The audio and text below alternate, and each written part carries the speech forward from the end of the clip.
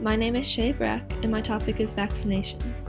This topic is important because recently many parents have been uncertain about vaccinations and their safety, and I believe that it is important to educate them as to why I believe children should be vaccinated.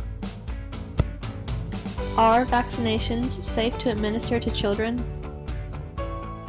Background Different forms of vaccines have been around since the times of ancient Greece. In 1796, a British doctor named Edward Jenner developed the modern version of the vaccine that we use today.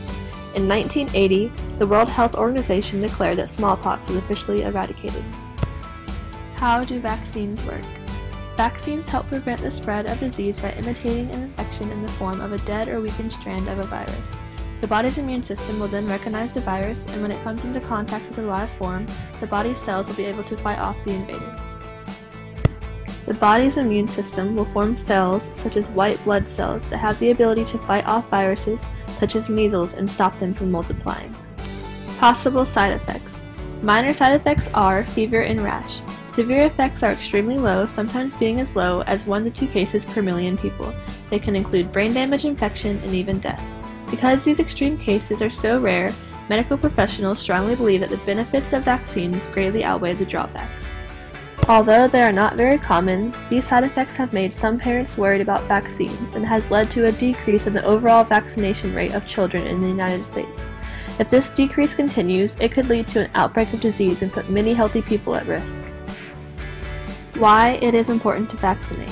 One of the largest concerns when it comes to not vaccinating a child is if the child catches a vaccine preventable disease, they will be carrying a live form of the virus. This causes a risk of the virus mutating to form a new strand that can leave other vaccinations ineffective because our bodies will not be able to recognize the new strand.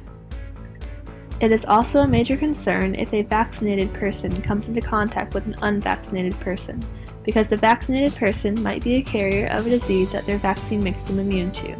The problem is that the unvaccinated person can then catch the disease from the person who is immune. Many scientists and medical professionals have devoted their work to discovering new ways to prevent diseases and to make the world a better and safer place to live. Therefore, vaccinating your children and getting vaccinated yourself is a smart choice, not only for you, but for the health of the world as a whole.